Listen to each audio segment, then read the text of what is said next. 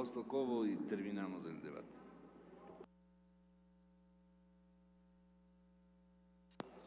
Señor presidente, compañeras y compañeros asambleístas, cuando existe una crisis, lo elemental para identificar los elementos de riesgo que están presentes en esa crisis, definir las vulnerabilidades de esa crisis. Y esas vulnerabilidades, cuando son atendidas, se está yendo a lo estructural del problema.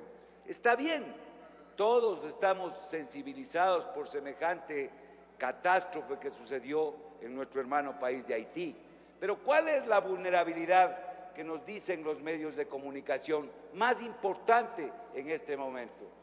Justamente el transporte, la distribución de los recursos y la seguridad de la población.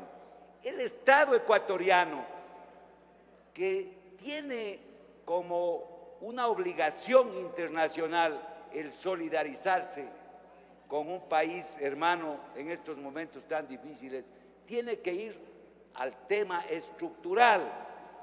Yo creo que es oportuno, ya que aquí estaba la silla vacía del alto mando militar en el tema anterior, que la Comisión de Soberanía, de Seguridad Integral, recomiende, pues, exhorte al Ejecutivo que en lugar de 60 soldados ecuatorianos que están en los cascos azules este momento en Haití, incremente esa dotación, lleve allá soldados ecuatorianos para que contribuyan en lo, estructural del problema.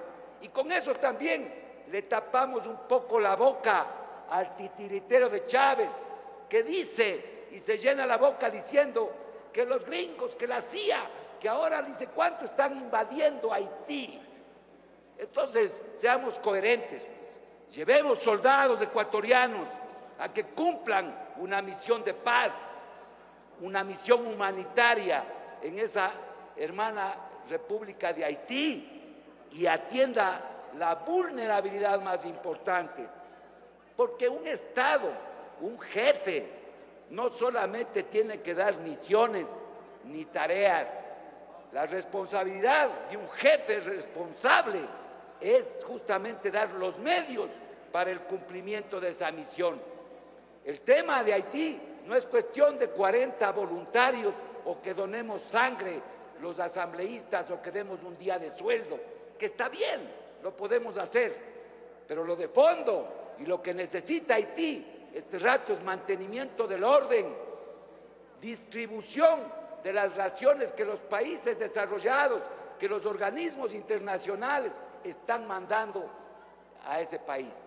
Yo creo que en esa resolución se debe exhortar al Ejecutivo a que mande soldados ecuatorianos a incrementar los, eh, los cascos azules allá.